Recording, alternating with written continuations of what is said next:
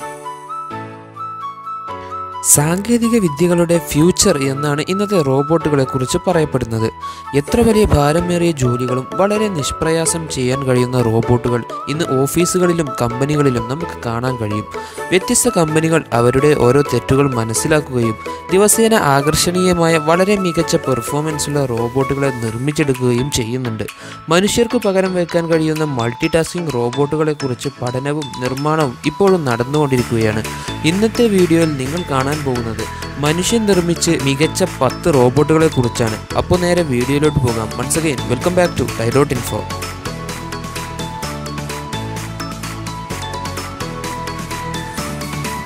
number ten spot American കമ്പനിയായ Boston Dynamics രണ്ടായിരത്തി പതിനാറിൽ നിർമ്മിച്ച വളരെ മികച്ച ഒരു റോബോട്ടാണ് സ്പോട്ട് അനിമൽ റോബോട്ട് അല്ലെങ്കിൽ ഡോഗ് റോബോട്ട് എന്നും ഇതിനെ വിളിക്കുന്നുണ്ട്. കാരണം ഇതിന്റെ കാലുകളൊക്കെ നിർമ്മിച്ചിരിക്കുന്നത് ഒരു നായയുടെ ശരീരത്തിന് സാമ്യമുള്ള രീതിയിലാണ്.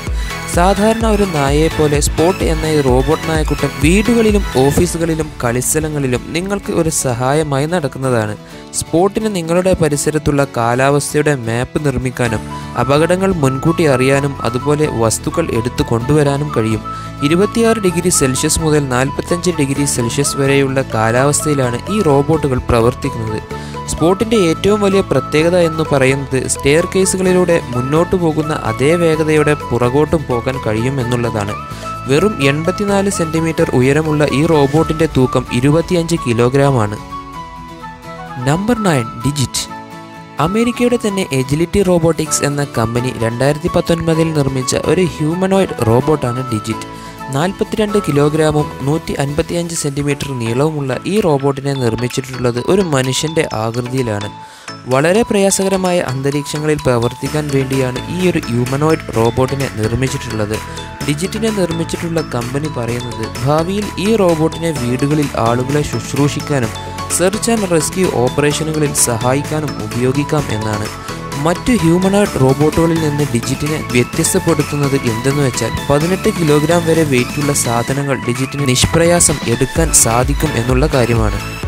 നമ്പർ എയ്റ്റ് കാസി ഡിജിറ്റിനെ നിർമ്മിച്ച കമ്പനി തന്നെ രണ്ടായിരത്തി പതിനാറിൽ നിർമ്മിച്ച ഒരു ചെറിയ വേർഷനാണ് കാസി നൂറ്റി പതിനഞ്ച് സെന്റിമീറ്റർ നീളവും മുപ്പത്തി ഒന്ന് കിലോഗ്രാം തൂക്കവുമുള്ള ഈ റോബോട്ടിന് വ്യത്യസ്ത തരത്തിലുള്ള അന്തരീക്ഷത്തിലൂടെയും പ്രതലങ്ങളിലൂടെയും നിഷ്പ്രയാസം സഞ്ചരിക്കാൻ കഴിയും. അഡ്വാൻസ്ഡ് ടെക്നോളജിയോട് കൂടി നിർമ്മിച്ച സെൻസറുകൾ ഉള്ളതുകൊണ്ട് തന്നെ ഭാവിയിൽ സെർച്ച് ആൻഡ് റെസ്ക്യൂ ഓപ്പറേഷനുകളും കേസിയെ ഉപയോഗപ്പെടുത്താം. ഓസ്ട്രേലിയൻ പക്ഷിയായ കേസോവരിയുടെ കാലുകൾക്ക് സാമ്യമുള്ളതുകൊണ്ടാണ് ഈ റോബോട്ടിന് കെ എന്ന പേര് നൽകിയിരിക്കുന്നത്. Number seven Pepper. ജപ്പാൻ കമ്പനികളായ ആൽഡിവാൻ റോബോട്ടിക്സ് സോഫ്റ്റ് ബാങ്ക് റോബോട്ടിക്സ് എന്നിവർ ചേർന്ന് രണ്ടായിരത്തി പതിനഞ്ചിൽ നിർമ്മിച്ചെടുത്ത ലോകത്തിലെ തന്നെ ആദ്യത്തെ സോഷ്യൽ ഹ്യൂമൻ റോബോട്ടാണ് പെപ്പർ. വ്യത്യസ്ത മനുഷ്യരുടെ മുഖങ്ങൾ മനുഷ്യരുടെ വികാരങ്ങൾ വ്യത്യസ്ത ഭാഷകൾ ഇതൊക്കെ പെപ്പറിന് വളരെ എളുപ്പത്തിൽ തന്നെ മനസ്സിലാക്കാൻ കഴിയും. പെപ്പറിന്റെ നെഞ്ചിൽ പതിപ്പിച്ച ഒരു ടച്ച് സ്ക്രീൻ മുഖേനയാണ് മനുഷ്യരുമായി പെപ്പർ ഇടപഴകുന്നതും അവരോട് സംസാരിക്കുന്നതും. പെപ്പർ എന്ന റോബോട്ടിന്റെ ആദ്യത്തെ ലോഞ്ചിങ് സമയത്ത് സോഫ്റ്റ് ബാങ്ക് സിഇഒ ആയ മസയോഷി സോൻ പെപ്പറിനോട് തന്റെ കഴിവുകൾ കാണികൾക്ക് മുന്നിൽ പരിചയപ്പെടുത്താൻ ആവശ്യപ്പെട്ടു. എന്നാൽ ആർട്ടിഫിഷ്യൽ ഇന്റലിജൻസ് ഉപയോഗിച്ച് നിർമ്മിച്ച പെപ്പറിന്റെ രസകരമായ മറുപടി ഇതായിരുന്നു. മസയോഷി ഞാൻ എന്റെ കഴിവുകൾ കാണിച്ച് ആളാകാൻ ഉദ്ദേശിക്കുന്നില്ല. കാരണം അത് ഒരു നൂറ് മണിക്കൂറിലധികമെങ്കിലും സമയമെടുത്തേക്കാം. പെപ്പറിന്റെ ഈ മറുപടി തീർച്ചയായും കാണികളെ ചിരിപ്പിച്ചു. Number six. H R P five P പേരുപോലെ തന്നെ എച്ച് ആർ പി സീരീസുകളിലുള്ള റോബോട്ടുകളിലെ fifth generation റോബോട്ടാണ് H R P five P രണ്ടായിരത്തി പതിനെട്ടിൽ ജപ്പാനിലെ തന്നെ കമ്പനിയായ എയ്സ്റ്റ് ആണ് ഇതിനെ നിർമ്മിച്ചിട്ടുള്ളത്.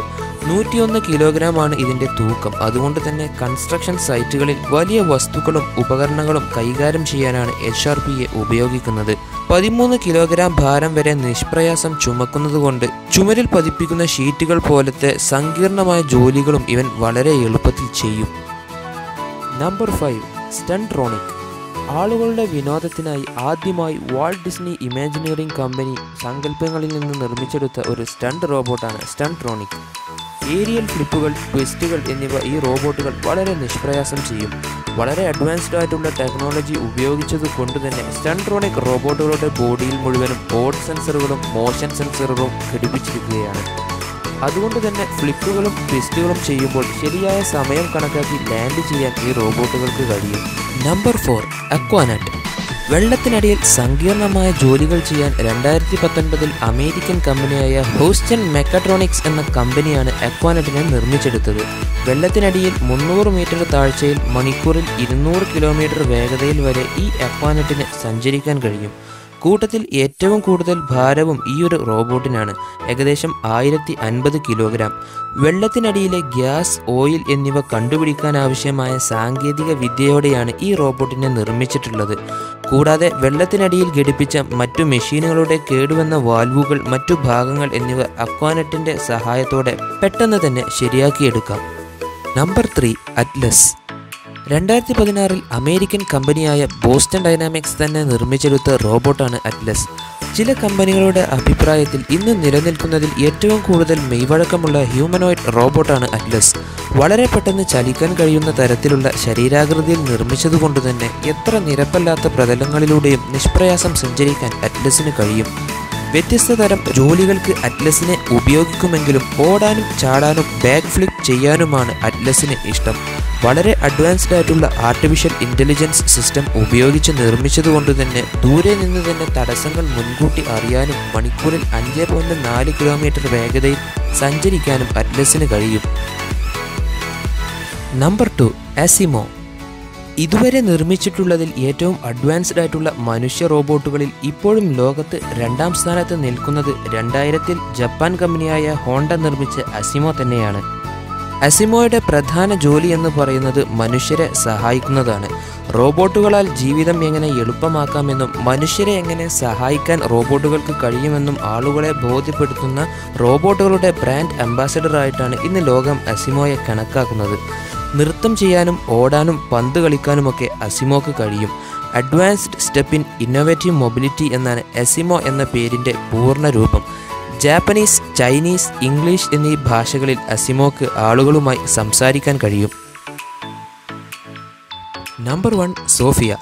ലോകത്തിലെ നിലവിൽ ഏറ്റവും അഡ്വാൻസ്ഡ് ആയിട്ടുള്ള റോബോട്ടാണ് സോഫിയ. ഒരു പെർഫെക്റ്റ് ഹ്യൂമനോയിഡ് റോബോട്ടിന് ഏറ്റവും വലിയ ഉദാഹരണമാണ് സോഫിയ. കാരണം മനുഷ്യരെ പോലെ അൻപതോളം വ്യത്യസ്ത മുഖഭാവങ്ങൾ സോഫിയക്ക് പ്രകടിപ്പിക്കാൻ കഴിയും. വിദ്യാഭ്യാസം വിനോദം ഗവേഷണം എന്നിവയാണ് പ്രധാനമായും സോഫിയയെ രൂപകൽപ്പന ചെയ്തിട്ടുള്ളത്. മനുഷ്യ ജീവിതത്തിൽ റോബോട്ടുകളുടെ പ്രാധാന്യം ആളുകൾക്ക് മനസ്സിലാക്കാൻ വേണ്ടി രണ്ടായിരത്തി പതിനാറിൽ ഹോങ്കോങ് കമ്പനിയായ ഹാൻസൺ റോബോട്ടിക്സ് ആണ് സോഫിയയെ നിർമ്മിച്ചിട്ടുള്ളത്. C N N B B C തുടങ്ങിയ വൻകിട ടി വി ന്യൂസ് ചാനലുകളിൽ ഇന്റർവ്യൂ ചെയ്യപ്പെട്ട റോബോട്ട് കൂടിയാണ് സോഫിയ. രണ്ടായിരത്തി പതിനേഴിൽ സൗദി അറേബ്യൻ ഗവൺമെന്റ് വലിയ ബഹുമതിയുടെ പൗരത്വം നൽകിയിട്ടുണ്ടായിരുന്നു. സോഫിയയെ നിർമ്മിച്ച വ്യക്തിയായ ഡേവിഡ് ഹാൻസൺ തന്റെ ഭാര്യയായ അമൻഡ ഹാൻസൺ മരണപ്പെട്ട ബ്രിട്ടീഷ് നടി ഓഡ്രി ഹെബ്ബേൺ എന്നിവരുടെ മുഖസാദൃശ്യമാണ് സോഫിയക്ക് നൽകിയിട്ടുള്ളത്. ദാറ്റ്സ് ഇറ്റ് ഗൈസ് വീഡിയോ ഇഷ്ടപ്പെട്ടെങ്കിൽ ലൈക്ക് ചെയ്യാനും ഷെയർ ചെയ്യാനും സബ്സ്ക്രൈബ് ചെയ്ത് സപ്പോർട്ട് ചെയ്യാനും മറക്കരുത്. ഇതുപോലത്തെ രസകരമായ വീഡിയോസുമായി വീണ്ടും കണ്ടുമുട്ടുന്നതുവരെ സൈനിങ് ഓഫ്